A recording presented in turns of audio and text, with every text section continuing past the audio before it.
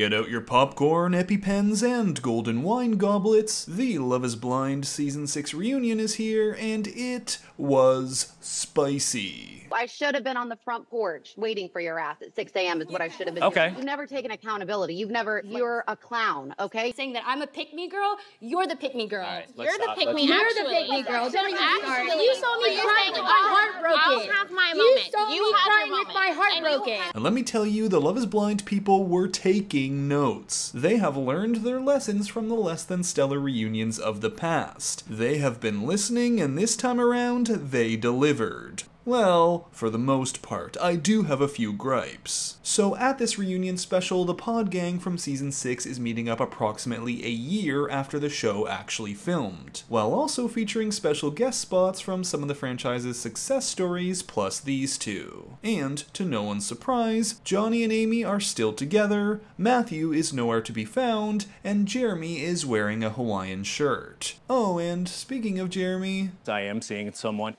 Funny you should mention that. She actually is here today. Let's please welcome Sarah Ann to the show. Yay. Oh, not the kiss.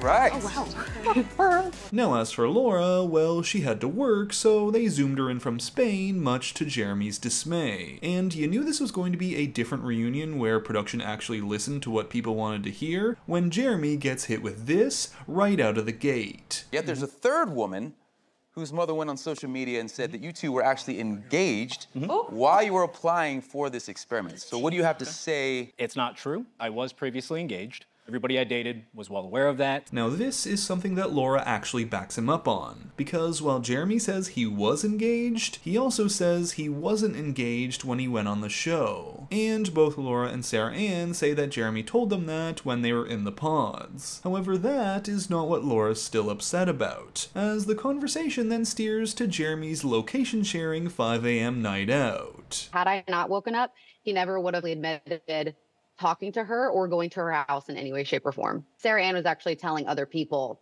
the exact same lie, so they had corroborated on that. Well, this then devolves into a screaming match where Laura and Sarah Ann call each other pick me girls, which is kind of wild considering one of them walked into the reunion looking like this. I can't feel my face. He had told her that night when they stayed out together that he was going to break up with me.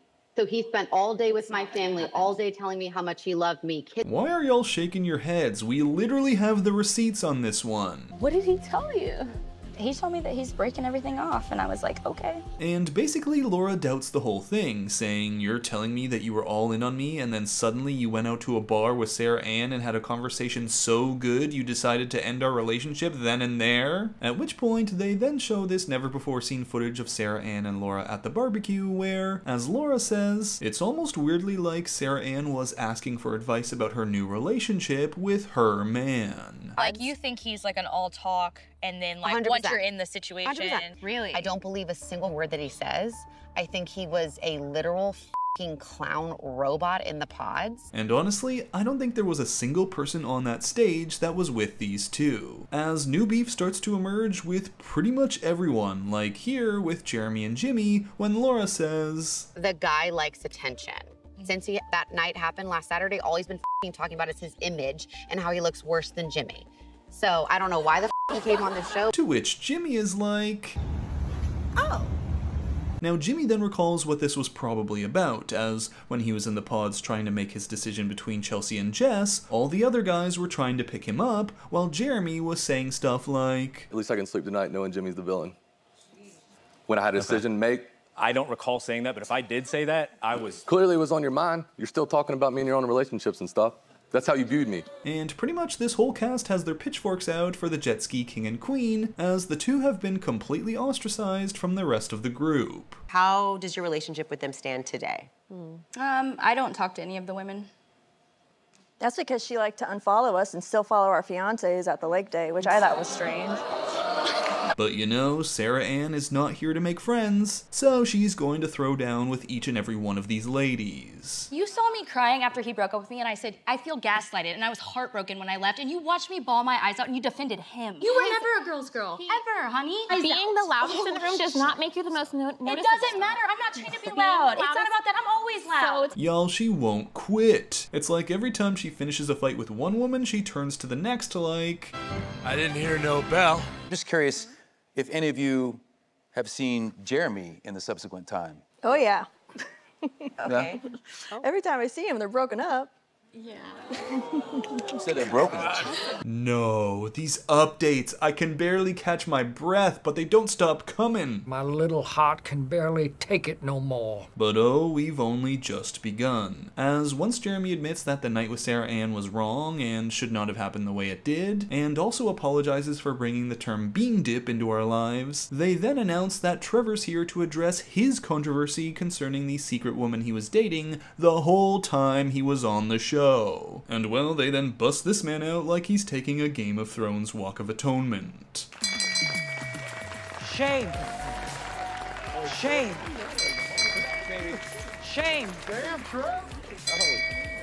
Shame. Oh, and production? Well, they come with the receipts, as they literally have this woman's texts. Show the receipts. I love you so much, honey. I'm excited for it, but more excited to get back to you after and start our life together. She responded with, Did you land? Trevor responded, Just did. Oh, they got this man stunned. All he can do is look down and pray that the floor will somehow give him guidance. Trevor then says, Can I call you in 30 minutes? She said, I missed you so much. Trevor wrote, I love you more than anything in this world, and I'm going to marry you. I hope you know how much I love you and had to pretend that this wasn't real life to say anything I said. So they then give Trevor the opportunity to respond, and the whole time he's just like,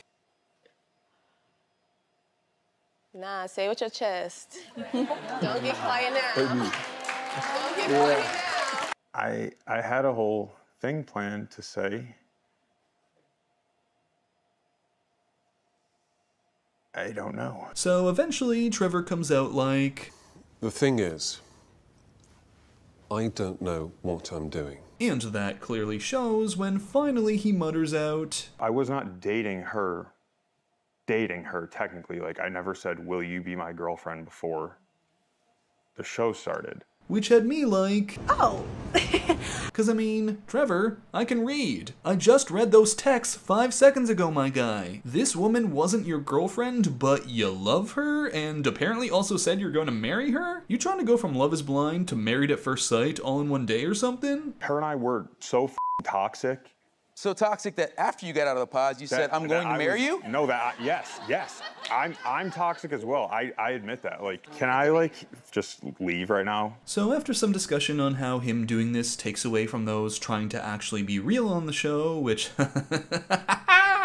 they let Trevor pull a Matthew and just get up and leave. At which point, they turn to AD and Clay. And here is something I wish they dug deeper on, because they do go over a lot here in this segment, like how they did get in contact a few weeks after the show, how Clay has been working on himself in therapy, and how he feels like he didn't do enough work to understand himself and to understand love before going on the show, and that was a big downfall for him. But when he says stuff like, She's she's honestly the love of my life, and I would tell you honestly, I did make a mistake. I apologize. I love you. You are the love of my life, and it was a mistake. I want to know if these two are still together. Like, is there hope here? Is this gonna be anything? But they play it coy. Do you think you would ever date him again? Next question. Clay, would you ever date her again?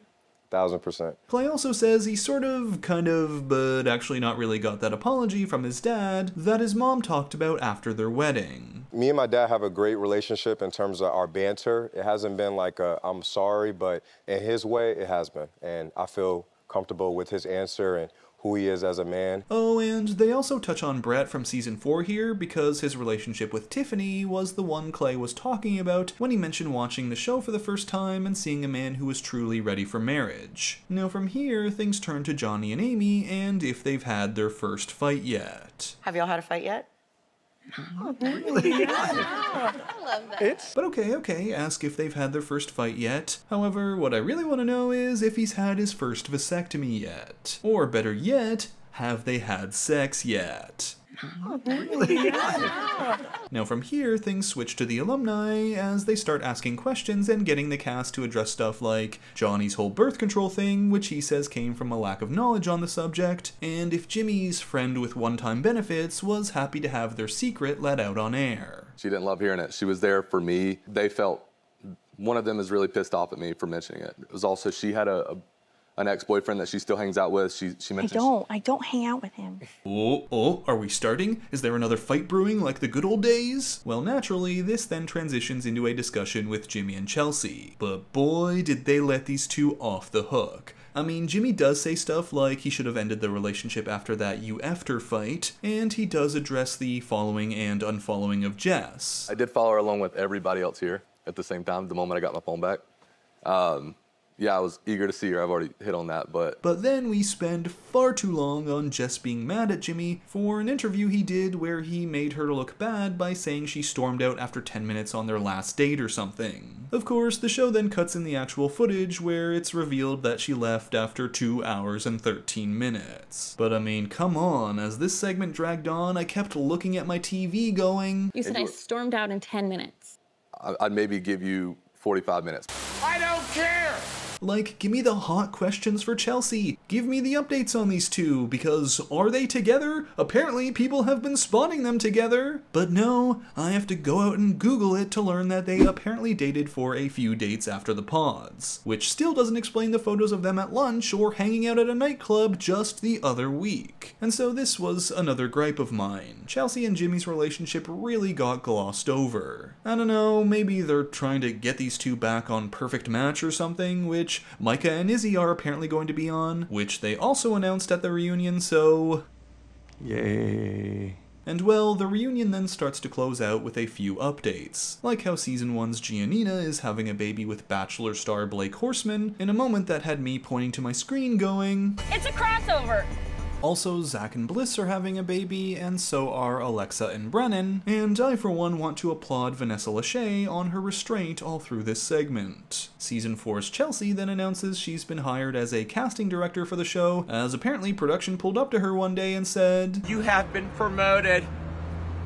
You are now one of my elite employees. So if you hate any future contestants, you know who to blame. And then finally, we do touch upon Kenneth and Brittany, where Kenneth basically says he was on his phone because he's a real hands-on principal, and so it was all work. But now these two are like crazy good friends. We speak nearly every day. Um, Well, one thing you know, he's always got his phone, so you can always reach him. Oh, and of course, how could I forget one of the wilder updates from the reunion? Cause after they do this segment where they show Matthew's dates with Amber and compare it to his dates with AD, Because I don't want to tell something to somebody else and then tell you something. like, I'm, I'm just not going to do that. Asked you about your dad. Because I really don't know if I could propose to somebody without asking permission. Because if it got to it Yeah, and we were at the end, yeah. I would tell him I'm not doing it unless I talk to her dad. There's really two, only two outcomes from this, Yeah. and that's either with you or not.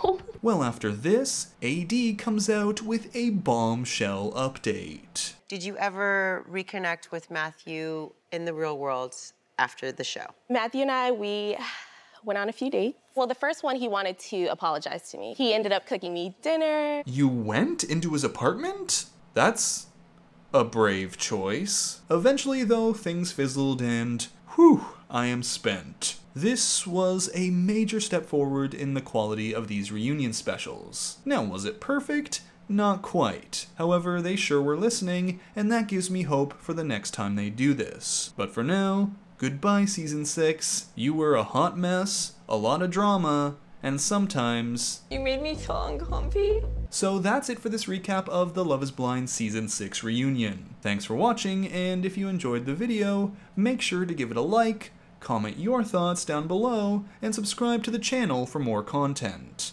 And until next time, Bachelor Fantake out. You're the pick me. You're the pick me girl. Don't even start. You saw me crying with my heart broken. I'll have my moment. I didn't You hear no cried with bell. my